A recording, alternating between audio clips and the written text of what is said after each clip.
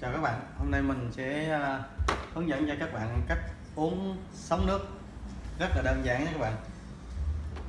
Sau khi các bạn mềm hóa xong các bạn sấy khô để cho sợi tóc mình đã mướt nhé.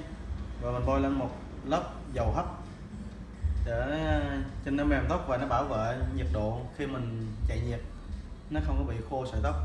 Đấy. mình chải đều cái tóc ra. Và đặt cái ống nằm ngang như thế này nhé các bạn. Chạy đều tóc ra các vuốt lên. Và xoắn vào. Đấy. Xoắn xong. Các bạn trả đều cái này ra. Vuốt tròn vào. Tới ngay chỗ cái dòng đó các bạn xoắn được. Nhớ là xoắn đều một đường thẳng thôi nha các bạn. Đừng có xoắn tùm lum hết thì nó ra cái sóng tóc mình nó không có đẹp đâu. Đấy. tròn nó vào. Tới ngay chỗ điểm đó mình xoắn lại. Đấy. cầm chặt nó lại Không. xoắn lại ok mình gấp cái đuôi tóc lại.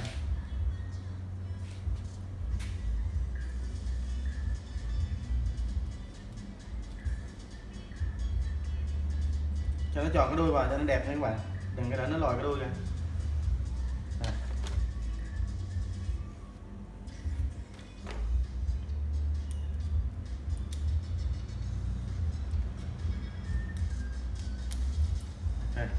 Cứ như vậy các bạn cuốn hết đầu. Thì nó sẽ ra được một mái tóc sóng nước cực kỳ đẹp. Các bạn, rất là đơn giản mà. Các bạn.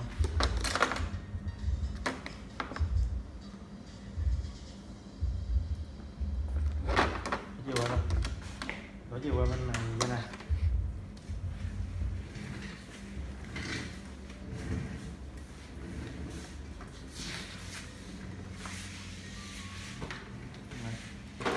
Cứ như thế mình làm ngược lại bên này nhé các bạn.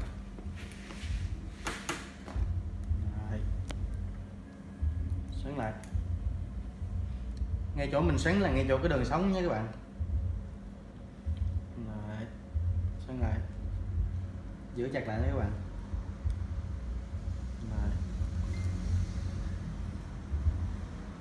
xoắn lại Đấy. Ok.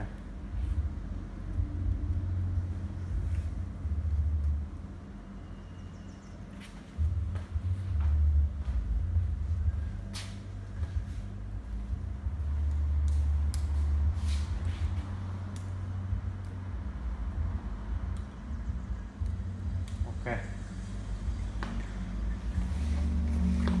các bạn chạy Nắm vô lại đi cưng Không đèn đâu bây giờ là mình uh, tra thuốc dập nhé các bạn. Các bạn chờ chúng mình xem kết quả nhé. 15 phút sau thêm kết quả. Mình dập trực tiếp lên trên trục luôn nhé các bạn. Trục này à, khi người ta thiết kế người ta đã à, làm nó chống nước rồi nên các bạn yên tâm. Nước không vào bên trong được đâu. Các bạn cứ dập thoải mái.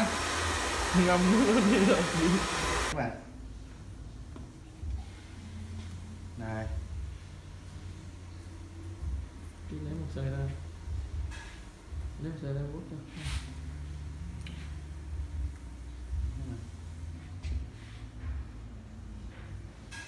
Ok đấy các bạn.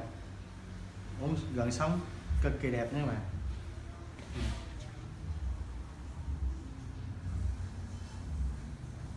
Okay.